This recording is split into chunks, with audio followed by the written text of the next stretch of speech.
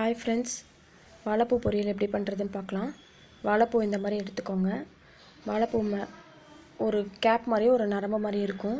அது ரெண்டுத்தையும் ரிமூவ் பண்ணிக்கோங்க. ரிமூவ் பண்ணிவிட்டு சுத்தம் பண்ணி வச்சுக்கோங்க நல்லா.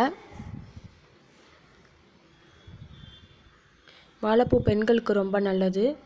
தோற்புத்தன்மையுடையது. மாதத்துக்கு ஒரு டைம் ஆச்சு சேர்த்துக்கோங்க.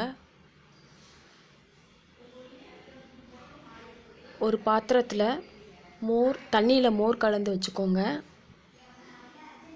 சுத்தம் பண்ணி வச்சுருந்த வாழைப்பூவை பொடுசாக நறுக்கிக்கோங்க. நறுக்கின வாழைப்பூவை இந்த மோர் தண்ணியில் கலந்துக்கோங்க. ஏன்னா அதோட லைட்டாக ஒரு கசப்புத்தன்மை மாதிரி இருக்கும். அதெல்லாம் போகும்.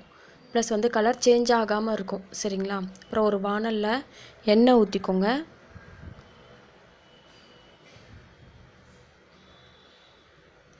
எண்ணெய் காஞ்சதும் கடுகு போட்டுக்கோங்க.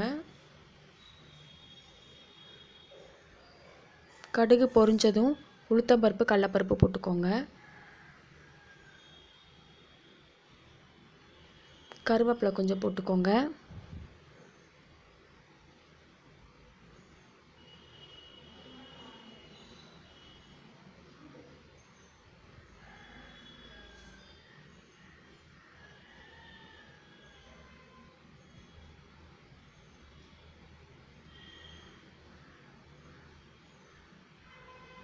லைட்டாக சால்ட் போட்டுக்கோங்க.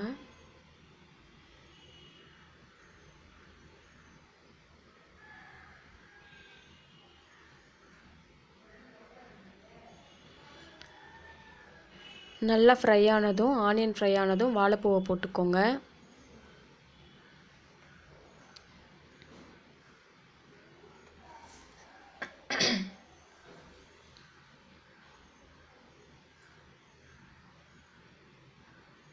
மலைப்பூ போட்டு நல்லா கலந்து விட்டுக்கோங்க.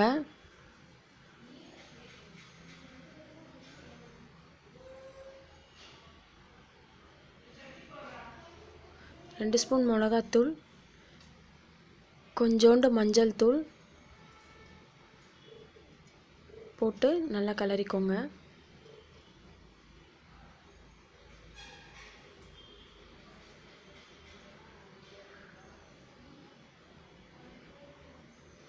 லைட்டாக தண்ணி தெளிச்சுக்கோங்க. நிறைய ஊற்றிடாதீங்க லைட்டாக ஒரு மூடி போட்டு மூடிடுங்க. லைட்டாக கொதிக்கட்டும்.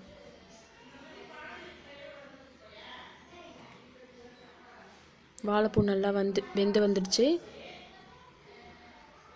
இப்போ தேங்காய் ஒரு கப் துருவி வச்சுக்கோங்க.